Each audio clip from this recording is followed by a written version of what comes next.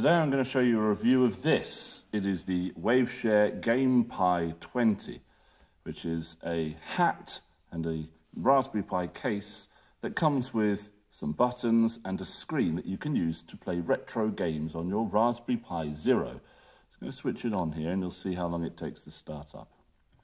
So the first thing you'll see is it has a battery indicator at the top, five little red lights that indicate how much battery, how much charge there is left in the battery.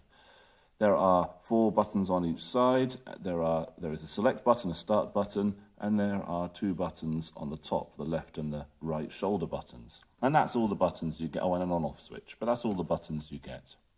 The buttons are a bit spongy, but they do work. There's no D-pad. There are four separate buttons, but that's not a problem. You can still work with that you can see the buttons are all rotated, and that's because there's no groove to hold the buttons in the right orientation. So they do rotate around as you're using them. Because your finger's covering them, I don't think that really matters. Well, your thumb is covering. Or your finger, it depends how you play your games. The, uh, you can see it takes quite a while for this to start up. It's still, what, we're a minute in and the screen hasn't even come on yet, but it will. It will work. Now, the, um, the device itself is very, very cheap, and you can tell it's very cheap. It's got a sort of a plastic, there we are, just started up. It's got a plasticky kind of metal, I don't know what type of metal it is, but it's quite a cheap metal. Sounds plasticky, but I think it is metal. Case on the back. It's got an acrylic front on it. There's nothing protecting the screen, so that is the, uh, the OLED screen right there that you can touch, which is not good. So I, I got myself a little case separately that I, uh, that I keep this thing in, um, just to keep it a little bit better protected. And there it is running the latest version of RetroPie with a skin so that I can actually read the numbers, uh, the words, sorry. So if I go into favorites, you can actually read what that says. And if I go into last played, you can actually read what it says. Uh, of course, you can only play ROMs if you own the original game and have ripped the ROM off yourself. That's a copyright thing, otherwise you're a dirty pirate. Um, but you've got all these different systems, or cores as RetroPie calls them, that you can emulate. Uh, the emulation is okay. Let's uh, load up Sonic the Hedgehog and show you what that's like. So let's go across like this and find our Mega Drive. Master System Mega Drive, that'll do. Let's scroll down, see if we can find Sonic the Hedgehog. Uh, da, da, da, Sonic and Tails, Sonic, Sonic the Hedgehog. And you'll see what this is like. Now, there are some issues. So when I first got this, uh, this device, this case, I used the default build, I think you would call it, the default um, image uh, to flash on the SD card that comes on the Waveshare website for RetroPie, which has all the drivers for this, the buttons and the screen, built into it. And there were two problems. The first problem was that it was impossible to press the up and right key simultaneously, and it was also impossible to press the select and start key simultaneously.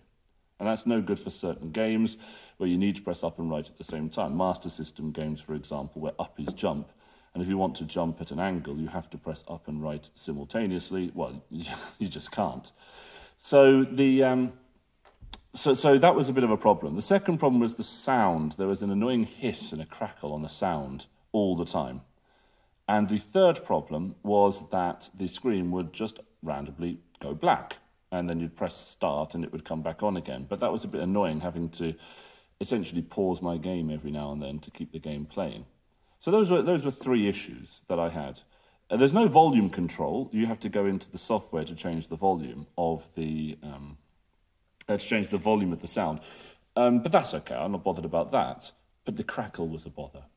So I contacted them and I said, this isn't really very good. There's, some of the buttons don't work together and the sound is a bit iffy, so is there anything you can do about this?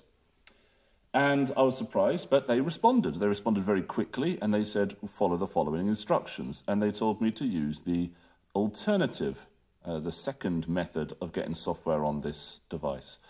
Uh, the second method involved installing a fresh install of, um, of RetroPie, the latest version, onto an SD card, and then either connecting a screen, which I haven't got the adapter, the HDMI adapter for the Raspberry Pi Zero, so I just used SSH because it's a Raspberry Pi Zero W. I SSH'd in and used the console using PuTTY to install all the drivers separately.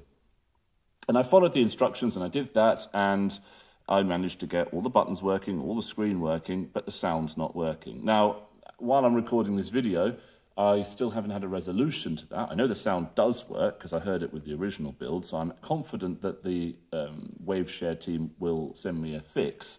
And they have been pretty good at responding to messages. Uh, I just haven't had time to try their latest fix that they told me to do, but I'll get round to it and then we'll have sound as well. But the up and right buttons do work together, and I'll, I'll show that to you now. So we'll just exit out of this by pressing the select and start button together. And we go up to something like Cannon Fodder, for example, which is a fantastic game if you've never played it. So we're just going to Cannon Fodder. Um, in the game Cannon Fodder, you have to move a cursor around um, in order to direct your military forces, and it's a bit of a nuisance if you can't move the cursor in, in a diagonal direction. Uh, but you can now because of following the second method on the WaveShare website, that they, uh, that they gave me. so if I just go into here, uh, da, da, da, start a game, doesn't really matter. And so if I press up and right, the cursor moves up and right, down and left together, up and right together. Sorry, up and left together before. There we go. Anyway, you can see I'm going in the diagonal directions with this cursor. No problem. And uh, so let's move over here. Oh, let's move down here. And you see, it works absolutely fine. No problems. So the, uh, the game, it's, the, the device itself is fine. The battery lasts many, many hours. I don't have a problem with that. It can emulate um, loads of basic consoles. You saw the Mega Drive emulated then. It runs smoothly enough. The Game Boy Advance, it runs okay on the Game Boy Advance. Not quite as fast as perhaps I'd like it to be, but it works. Um, if I go into favorites, show you a bit of Pokemon, for example, one thing that's nice about emulating games is that you can fast forward things. So games like Pokemon, where you have to grind, which is a bit of a bit boring, but you can uh, you can skip a lot of that by fast forwarding. So I'll just uh, wait for this to start up.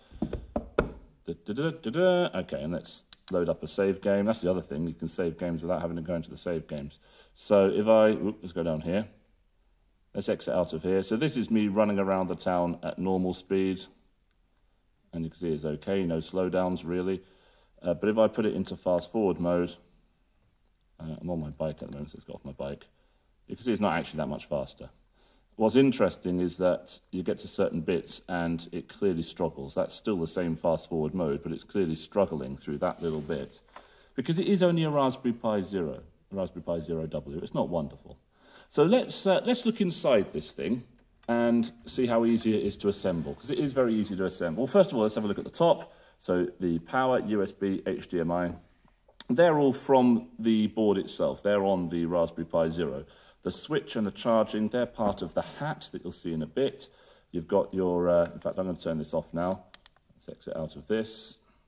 Uh, let's go to start, quit, shut down, yes, okay. And it'll shut down, and then I'll be able to turn it off. Oh, look, we've actually dropped one of the batteries now. This wasn't fully charged when I started playing on it, so I don't think the battery is that short.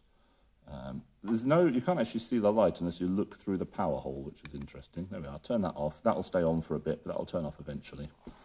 Right, so you've got the speaker on the back, just one speaker, not stereo. You've got the buttons on the top. The buttons on the top, really loud compared to the other buttons. And the ones on the front, really loud, which is a bit of a pain. Right, let's, uh, let's take this thing apart. So when you get the box, it comes with everything well wrapped. I kept the bubble wrap just to show you. And this, I don't remember what was in that, something or other, don't know. There's a static bag that it comes in. So it comes with everything you need. It's also got some spare buttons and screws and things in there. Uh, but it also comes with two tools, a screwdriver and a wrench of some sort. Don't know what you call this sort of wrench. And you're going to need these two to open it up to build the thing. The screwdriver, unfortunately, is a teeny bit small for the holes, but it does work. You can get it to, uh, you can get it to work fine. So if I push a little bit, I'm not going to wear down all the edges of the, of the cross-headed screw hole. I suppose I could get my own screwdriver, but I can't be bothered with that. So anyway, here are the four screws. I'm going to keep them to one side so I don't lose them. Let's put them there so you can see them.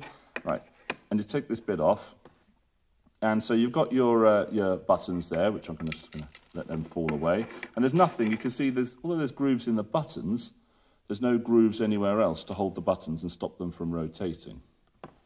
So when you set this up, you have to sort of line your buttons up.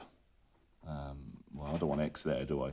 Line your button up, A, B. Let's put, let's put it on the, um, let's put it on the style of the SNES, the, the Super Nintendo. So you line your buttons up like that. You do the same with the direction keys and you pop this on. So it's not actually that difficult to, to assemble. We're tearing this down though. The screwdriver does fit these screw holes here. There are four screw holes there. The screws are already on the board when you get it, so you have to unscrew it, put this pad with its little conductive pads there, put the pad on it. That's very straightforward. This bit here comes off using this wrench thing, and I found it actually quite challenging to line up the uh, these wrench screw holes. I don't know what these types of screws are called. I found it quite difficult to line them up, actually, with the holes. It took a little bit of time and getting it just the right angle. So let's just put that to one side. Let's do it forward. This is riveting stuff. Maybe I'll pause this and fast forward it. And here comes the last one. Oopsie. Right, so there your four screws there. Uh, and then it's a little bit awkward to get it out because I've already put the caps on these buttons. So you have to kind of wiggle it and manipulate it and give it a bit of a shake, but it does come out. And there we go. There's the Raspberry Pi in the bottom. There's the some sort of cheap metallic yet plasticky sounding cover. The Raspberry Pi there, you've got the battery, pretty standard battery. Um, it says it's only 800 milliamp hours, but that's enough. It does the job. A single speaker, big loud clicky switches, covers on them, and that's it. So all you have to do is slot into the, uh, the GPIO port, pins, should I say, the, uh, the, the, the hat. So there's the hat, so you can see the holes there. And there's the Raspberry Pi with your GPIO pins. So you just plug that straight in. If you want to change the card at any point, this is a bit of a nuisance. You have to actually remove the Raspberry Pi from the hat to, to change the, the SD card. Once the SD card's in, the speaker, pushed against my screen then, the speaker actually blocks off the card, so you can't get the card out without fully removing the Raspberry Pi. So reassembly then, you put the SD card in first, you plug in the Raspberry Pi into the hat, then you slot it in like that. Now it's just in reverse, so you put the four screws in the corners, then put the front on. So let's put the four screws in the corners. So I have found it easier if I screw in those four corner screw things, the brass screw things, a little bit first and then just tighten them with this wrench. That does make it a little bit easier. And they do tighten nicely as well. I think sometimes when you get these things, there's the possibility of over-tightening. I haven't had that with this. I've taken it apart, put it back together a few times now, and I haven't yet, there we are, you can tell when it's tight enough. That's my experience. Let's carry on doing these up. There we go, they're all tight. Now for the buttons, on the pad it says B is here, A is there, X is there, Y is there. So I'll say that again, it says uh, A, B, X, Y. And that's the Xbox 360 or the Xbox um, layout. I'm going to go ahead and use the SNES layout, not because I'm a Nintendo fanboy, I'm really not, but just because that's what was default on uh, on RetroPie, so we might as well stick with it. And you can see, even if I do line these buttons up, they're going to rotate, so I'm not going to bother. I'm just going to shove them in place, um, using this to help me line them up. I saw videos online where people are getting sticky tape and taping them the right way around. Why would you bother? It really is not that tricky to just balance them on the tops of these rubber things, like this. Get your, your case front, and then just give it a wiggle into that, that did not, that wasn't hard, that was okay. So then you get your four screws, you put your screws in the corner, and you're ready to go. Let's do up the four screws in the corner. I mean, for, for an adult, you know, a grown-up toy, I don't think this is particularly good, maybe. You'd go for something, um, something a little bit better, something a bit more robust. But for a kid's toy, yeah, it's fine. And it's going to keep me busy when I'm taking a group of year 12s and 13 physicists to Geneva to see the LH, the Large Hadron Collider, the LHC.